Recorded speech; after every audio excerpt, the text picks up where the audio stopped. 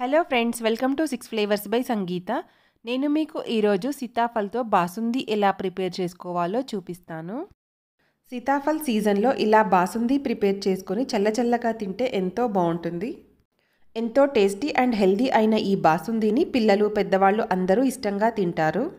సీతాఫల్ అంటే ఇష్టపడని వాళ్ళు కూడా ఇలా బాసుంది ప్రిపేర్ చేసిస్తే చాలా ఇష్టంగా తింటారు. ఇప్పుడు మనము ప్రిపరేషన్ని స్టార్ట్ చేసేద్దాం. ఇక్కడ నేను బాటమ్ మందంగా ఉన్న గిన్నెను తీసుకొని కొంచెం వాటర్ పోసుకొని ఇలా స్ప్రెడ్ చేసుకుంటున్నాను. ఇలా చేయడం వల్ల మనం పాలని మరిగించినప్పుడు గిన్నె అడుగున స్టిక్ అవ్వకుండా ఉంటుంది.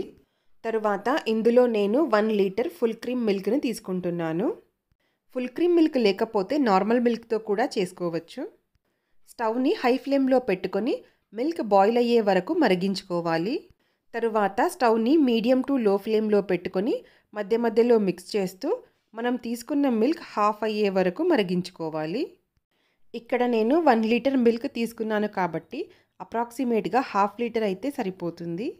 తరువాత ఇందులో కొంచెం కుంకుమ పువ్వుని యాడ్ చేస్తున్నాను. దీని వలన బాసుందీకి చక్కటి కలర్ ఇంకా ఫ్లేవర్ వస్తుంది. కుంకుమ పువ్వు అవైలబుల్గా లేకపోతే స్కిప్ చేయొచ్చు.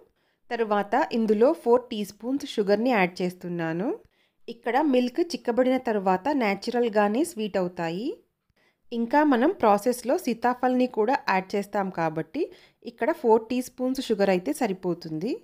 ఇక్కడ కావాలంటే బ్రౌన్ షుగర్ కూడా యాడ్ చేసుకోవచ్చు. ఇలా ప్యాన్లో సైడ్కి స్టిక్ అయిన మిగడను కూడా స్క్రేప్ చేసుకుంటూ మిక్స్ చేసుకోవాలి. ఇందులో కట్ చేసుకొని ఉంచుకున్న కాజు బాదాం ఇంకా పిస్తాని యాడ్ చేస్తున్నాను. ఇవన్నీ మిక్స్ చేసుకొని మిల్క్ ఇలా చిక్కబడిన తర్వాత ఆఫ్ చేసుకోవాలి. ఇక్కడ మనకు బాసుంది చల్లారిన తర్వాత ఇంకొంచెం చిక్కబడుతుంది.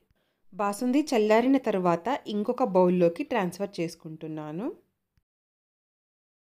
తరువాత మీడియం సైజులో ఉన్నవి మూడు లేదా నాలుగు సీతాఫల్ని తీసుకోవాలి. తరువాత గింజలని సపరేట్ చేసుకుంటున్నాను. ఇలా ఏదైనా స్పూన్తో స్క్రేప్ చేసుకుంటూ సీతాఫల్లోని పల్పునంతా ప్లేట్లోకి తీసుకోవాలి. ఇలా చేతితో దీనిలోని సీడ్స్ని తీసేస్తున్నాను. సీడ్స్ని తొందరగా తీసేయాలంటే ఫుడ్ ప్రాసెసర్లో కానీ మిక్సీలో కానీ వేసుకోవచ్చు. కానీ మిక్సీలో వేస్తే పల్ప్ అంతా సాఫ్ట్గా అయిపోతుంది. కాబట్టి నేను చేతితోనే సీడ్స్ని సపరేట్ చేస్తున్నాను. సేమ్ ఇదే ప్రాసెస్లో మిగతా సీతాఫల్ నుంచి కూడా సీడ్స్ని సపరేట్ చేసుకొని ఒక బౌల్లోకి తీసుకుంటున్నాను. ఇలా సీడ్స్ని తీసుకోవడానికి ఎక్కువ టైం ఏమీ పట్టదండి. ఫైవ్ టు టెన్ మినిట్స్లో తీసేసుకోవచ్చు.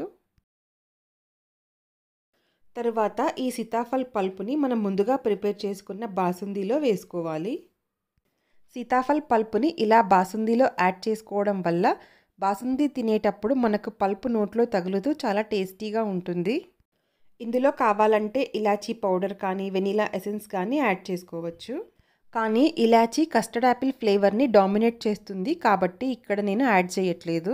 తరువాత దీనిపైన మూత పెట్టుకొని ఫ్రిడ్జ్లో త్రీ టు ఫోర్ అవర్స్ ఉంచుకోవాలి. ఇక్కడ మనకు చల్ల చల్లటి సీతాఫల్ బాసుంది రెడీ అయిపోయింది. ఇక్కడ నేను ఫుడ్ కలర్స్ కూడా ఏమీ యాడ్ చేయలేదు. ఇలా రెడీ అయిపోయిన బాసుందిని సర్వింగ్ బౌల్లోకి తీసుకొని పైనుంచి డ్రై ఫ్రూట్స్ వేసుకొని సర్వ్ చేసుకోవచ్చు. ఇక్కడ డ్రై ఫ్రూట్స్ మీ చాయిస్ని బట్టి మీ అవైలబిలిటీని బట్టి యాడ్ చేసుకోవచ్చు.